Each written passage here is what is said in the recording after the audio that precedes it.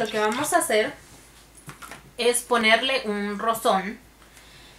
Y lo que vamos a hacer, vamos a agarrar primero un trozo de cinta y tenemos que medir bien la cantidad necesaria para que no sea ni muy grande ni muy chiquito. Lo que podemos hacer es medir así primero, ahí se gira, le dan la vuelta. Esa es la manera de la que yo mido. Si ustedes tienen una forma mejor, pues muy bien. Y de ahí, como ahí, ahí se juntan todo, ahí tenemos que buscar un excedente para poder hacer el moño. ¿Ok? Si nos sobra, siempre podemos recortar. Mejor que sobre o que falte, eso es lo que siempre digo. Y cortamos ahí. Yo lo que voy a hacer es que como esta cinta eh, tiene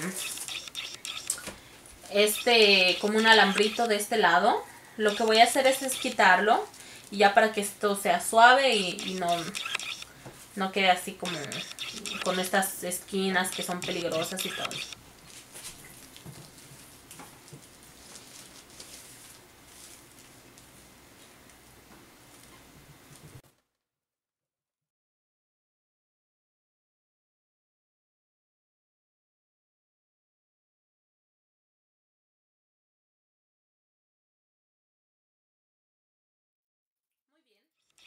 Ahora medimos esto que nos quede bien a la mitad. Perfecto. Ahí si se puede marcar se marca y si no, no importa.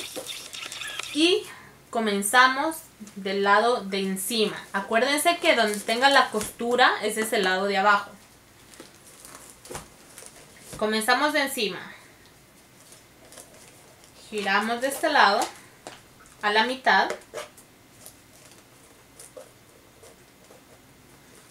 Giramos la caja y hacemos un cruce pero en vez de ir así otra vez vamos de costado de esta manera y giramos la caja también. Si tienen una persona que les ayude a hacer esto pues mucho mejor. Así les agarran la cajita. Y ahí le hacen un pequeño amarro. Normal, como cuando se están amarrando los zapatos.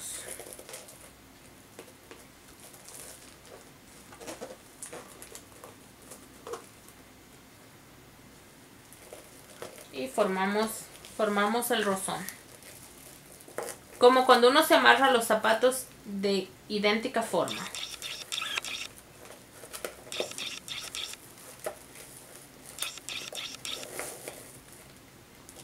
Perfecto. Y ahí está, con el rozoncito, con el moñito. Y lo que pueden hacer simplemente es estirar esto para que quede bonito.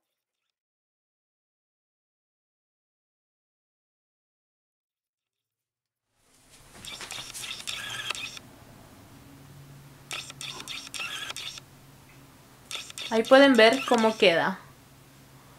Muy lindo. Espero que les haya gustado esta idea. Eh, no olviden comentar, suscribirse a mi canal para ver más de videos. Y además eh, comentar. Eh, díganme si les gusta esta manera o les gusta más haciendo diseños, haciendo dobleces, como ustedes quieran. Y también comenten si es que se decidieron a envolver sus regalos este año en vez de ponerlos en bolsas.